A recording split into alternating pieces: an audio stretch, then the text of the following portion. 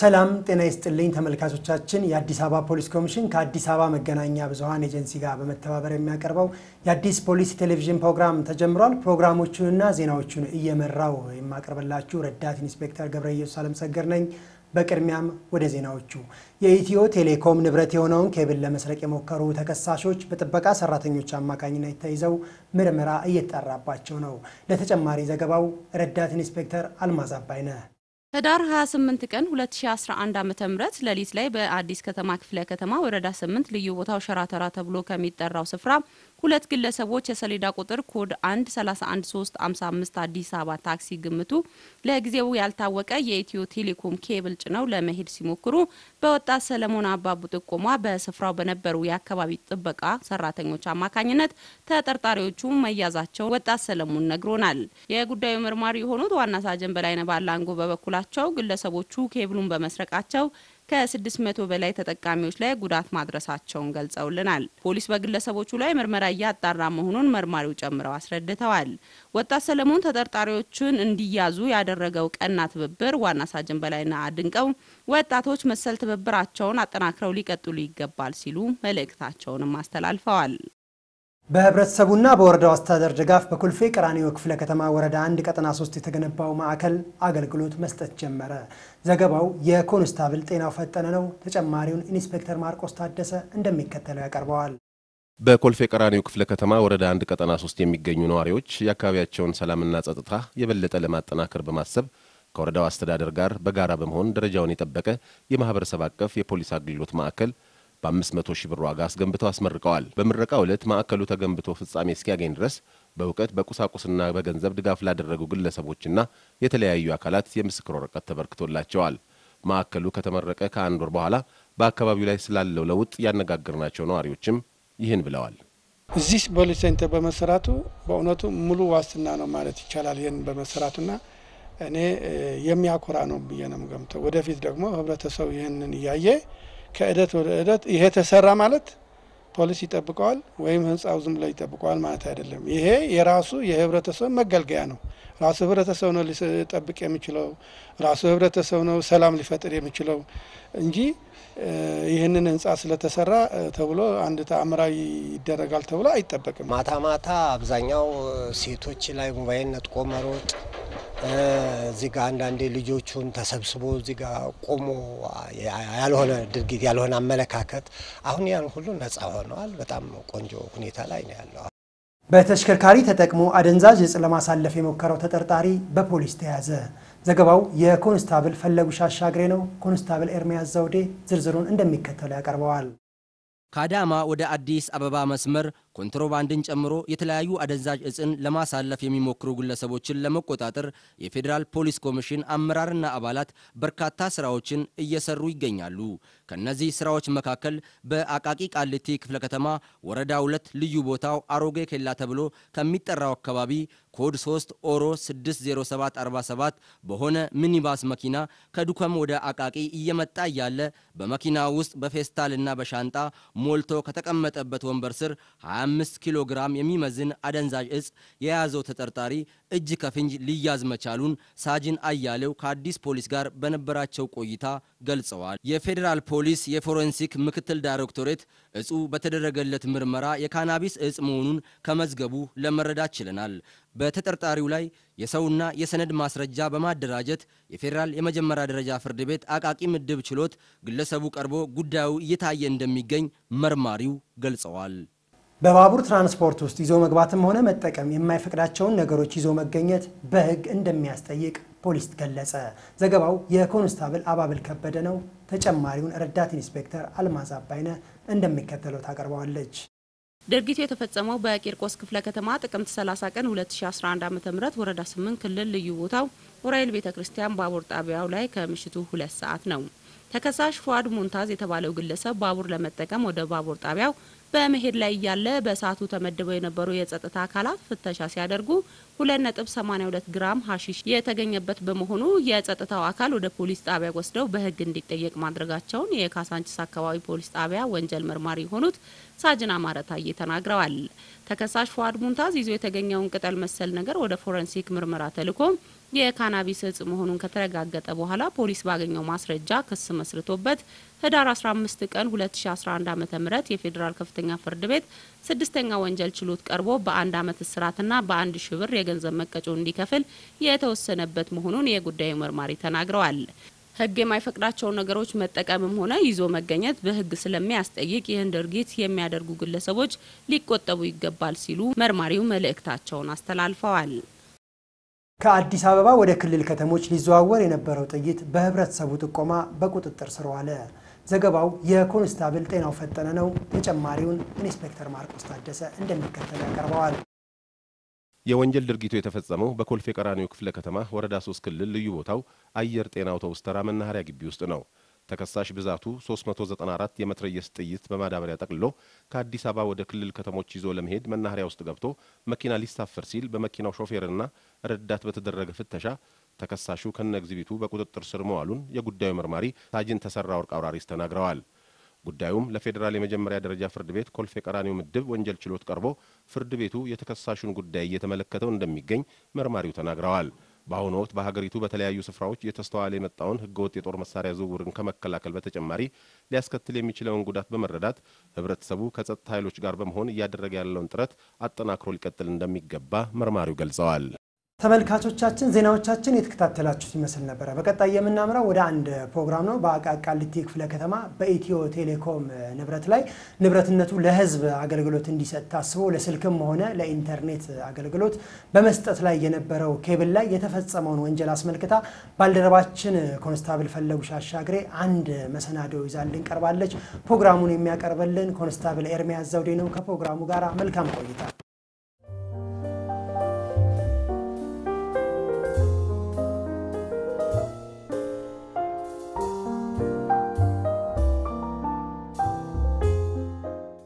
በአንድ አገር ውስጥ ፈጣን እድገት ለማረጋገጥና የህዝብን ሁለንተናዊ ተጠቃሚነትን ለማሳደግ ከሚያስችሉ ተቋማት መካከል እንደ ቴሌኮም፣ ኤሌክትሪክ ኃይልና የውሃና ፍሳሽ መሰረተ ልማቶች በዋናነት ተጠቃሽ ሲሆኑ እነዚህ ተቋማትም ለሁሉም የህብረተሰብ ክፍል ተደራሽ የሆነ አገልግሎት መስጠት ሲችሉ እንደ ሀገር ያለው ፋይዳ ቀላል የሚባል አይደለም።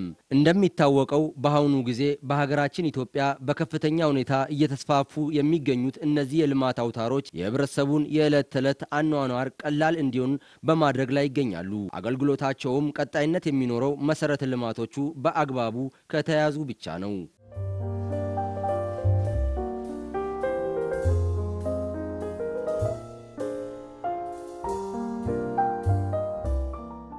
ውድ የዝግጅታችን ተከታታዮች ከላይ ስለ መሰረተ ልማት ጉዳይ ያነሳ ነው በአገራችን በተለያዩ አካባቢዎች በተደጋጋሚ በእነዚህ የልማት አውታሮች ላይ እየተፈጸሙ የሚገኙትን የወንጀል ድርጊቶች መነሻ በማድረግ ትኩረት እንዲሰጠው በማሰብ ነው። በዛሬው ፕሮግራማችንም በአቃቂ ቃሊቲ ክፍለ ከተማ የኢትዮ ቴሌኮም ንብረት በሆነው የመዳብና optical fiber cable ላይ የስርቆት ወንጀል በፈጸሙ ግለሰቦች ዙሪያ ትኩረት በማድረግ የተለያዩ መልእክቶችን ያካተተ መሰናዶ ወደ እናንተ የምናደርስ ይሆናል። ቆይታችሁ አይለየን።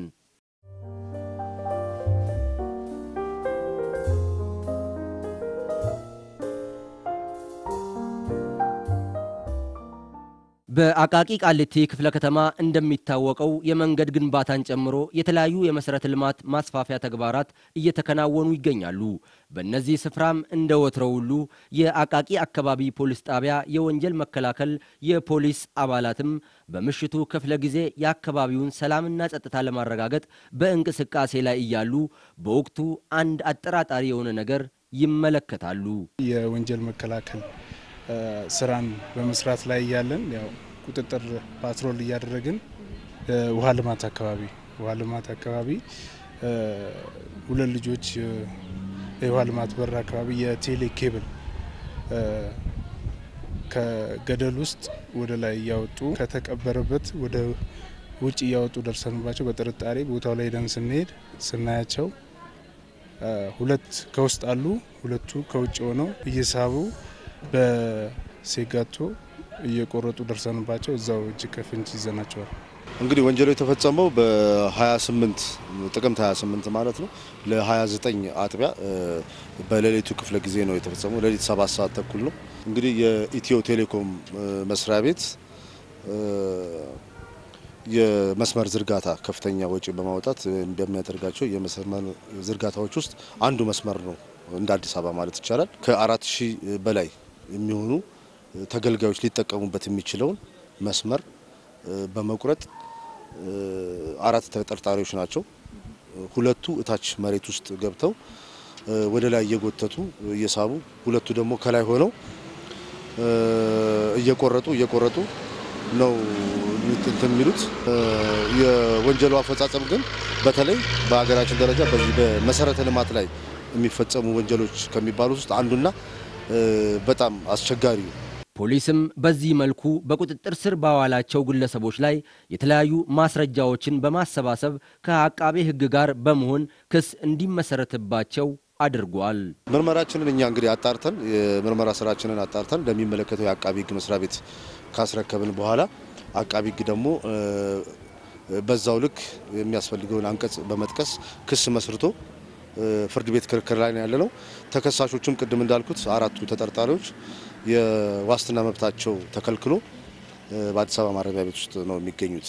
እንደሚታወቀው በአሁኑ ጊዜ ከግለሰብ እስከ ተቋማት ድረስ በሚደረጉ ፈጣን ግንኙነቶች ጀርባ ኢትዮ ቴሌኮም የአንበሳውን ድርሻ የያዘ ተቋም መሆኑ አያጠያይቅም። ተቋሙ ጥራት ያለው አገልግሎትን ለሕብረተሰቡ ለማድረስ በርካታ ተግባራትን እያከናወነ ቢሆንም በየቦታው በተደጋጋሚ ጊዜ በሚፈጸሙ መሰል ወንጀል ምክንያት በእጃችን ይዘን ከምንጠቀመው የስልክ አገልግሎት ጀምሮ በተቋሙ ላይ እያስከተለ ያለው ጉዳት ከፍተኛ እንደሆነ ይነገራል። እቺ የምንይዛት ሞባይል ከገመዱ ጋር የተገናኘች ነች። ከ optical fiber ጋር የተገናኘች ነች። ከተተከሉት አንቴናዎች ጋር ብቻ አይደለም። እነዛኛዎቹ ወርደው ዞሮ ዞሮ በፋይበሩ ነው የሚሄዱት። ስለዚህ ብዙ ጊዜ የሞባይል መጨናነቅ ተፈጠረ፣ ሞባይል እዚህ አካባቢ አይሰራም እንላለን። ከፋይበር ጋር መቆራረጥ ጋር የተገናኘ ሊሆን ይችላል። በየቦታው ያስቀመጥናቸው ሳጥኖች አሉ፣ MSAG የሚባሉ ባንኮችን የሚያገናኙ፣ ኢንሹራንሶችን የሚያገናኙ፣ የተለያዩ መስሪያ ቤቶችን የሚያገናኙ እነዛ ኬብሎች ሲቆረጡ ያ ሳጥን ስራ አገልግሎት ያቆመ አቆመ ማለት በዛ አካባቢ ያን ሳጥን የሚጠቀሙ እስከ 1200 የሚደርሱ ደንበኞች ጠቅላላ ቆሙ ማለት ነው። በተቋሙ ላይ ከፍተኛ አሉታዊ በስራችን እንቅስቃሴ ላይ አሉታዊ ነገር ያስከትላል። ከእንደገና ደግሞ ከፍተኛ የሆነ ኪሳራም ያመጣል። በሀገር አቀፍ ደረጃ እንደዚህ አይነት የመገናኛ መስመሮች በሚቋረጡበት ሰዓት ህብረተሰቡ ነው ተጎጂ የሚሆነው። ያ ነገር እስኪሰራ እስኪጠገን ያጠፋውም አካል ጉዳቱ እስኪፈለግ ድረስ ህብረተሰቡ በጣም ትልቅ ተጎጂ የሚሆነው ህብረተሰቡ ነው። በዚህ የልማት አውታር ላይ የሚፈጸመው የስርቆት ወንጀል የሚያስከትለው ጉዳት በዚህ አያበቃም። እንደ ሀገር በኢኮኖሚውና በሌሎች ዘርፎች ላይ የሚያሳድረው ተጽዕኖ ቀላል የሚባል አይደለም። economically ስንመለከተው ኢትዮ ቴሌኮም ከሚያጣው backbone ኑ ተቆርጦ አንድ ቀን በመዋሉ ምክንያት የሚያጣው የ economical problem እንዳለ ሆኖ ያ በመቆረጡ ደግሞ ከዛ ጋር ተጓዳኝነት ያላቸው የ financial sector ኦች ያንን ፋይበር የሚጠቀሙ international ድርጅቶች፣ የአገር አቀፍ መስሪያ ቤቶች፣ የሚኒስቴር መስሪያ ቤቶች በሀገሪቱ ላይ ያሉ ትልልቅ ነገሮች ሁሉ ይሄንን infrastructure የሚጠቀሙ ሁሉ በዛን እለት ያ damage በደረሰ ሰዓት የሚጎዱ ናቸው። ስለዚህ የእሱ መቆረጥ ባንክ ATM ላይ ብዙ ችግር ሲፈጠር እንመለከታለን። የባንክ አገልግሎት ሲስተጓጎል እናያለን። የ insurance financial ተቋሞች ጠቅላላ፣ የመንግስታዊ መስሪያ ቤቶች፣ አሁን ደግሞ መንግስታዊ ተቋማት HealthNet ኡም የሕክምና ተቋማት እርስ በርሳቸው እንዲገናኙ የተደረገ ነው። ወረዳዎች እርስ በርሳቸው እንዲገናኙ የተደረገ ነው። እነዚህ ሁሉ የሚገናኙት በዚህ በ optical fiber ነው። ስለዚህ የዚህ optical fiber መቆረጥ በጣም አሉታዊ የሆነ አገሪቷ ላይ ጠቅላላ impact አለው። ለዚህ ወንጀል መፈጸም የተለያዩ ሀሳቦች እንደ ምክንያት ይነሳሉ። በተለይ ከሌሎች ተቋማት ጋር የሚታየው ቅንጅታዊ አሰራር በዋናነት ክፍተት እንዳለው ተገልጿል። እነዚህ ወንጀል አድራጊዎች ደግሞ ተገቢውን ቅጣት ማግኘት መቻል አለባቸው። ያን ማድረግ የሚቻለው ደግሞ በአንድ ሰው ድርሻ አይደለም፣ በፖሊስ ወይም በአቃቤ ሕግ በፍርድ ቤት ብቻ አይደለም። እያንዳንዱ የራሱን ሚና ተጫውቶ እነዚህ ለሕግ የማቅረቡና ተገቢውን ቅጣት ሌሎችም ሊያስተምሩ የሚችሉ መልኩ መሆን መቻል አለበት። መሰረተ ልማትን አብሮ ተቀናጅቶ በመስራት በኩል ክፍተት አለ፣ ይታወቃል። በፊት የነበረውን ክፍተትና ዛሬ ላይ የነበረውን ክፍተት ብናወዳድረው ዛሬ ላይ የተሻለ ነው። ግን አሁንም ተቀርፏል ማለት አይቻልም። ምንድነው አንዱ ቀብሮ ይሄዳል፣ ሌላው ያፈርሳል። እንደዚህ አይነት ሁኔታዎች በጣም በተደጋጋሚ ይኖራል። ህዝቡም ሮሮ ያሰማል። አሁን በአዲስ አበባ መስተዳደር በኩል የመሰረተ ልማት ቅንጅት ቢሮ የሚባል ክፍል ተቋቁሞ ስራ ጀምሯል። already ከነሱ ጋር በጣም በቅርብ እንሰራለን፣ እንገናኛለን። እነሱ ምንድን ነው የሚያደርጉት? የመሰረተ ልማት መስሪያ ቤቶችን ኢትዮ ቴሌኮምን፣ መብራት ኃይልን፣ መንገዶችን፣ ውሃን እነዚህን ኢንፍራስትራክቸሮችን መንገድ መሬት ላይ የሚዘ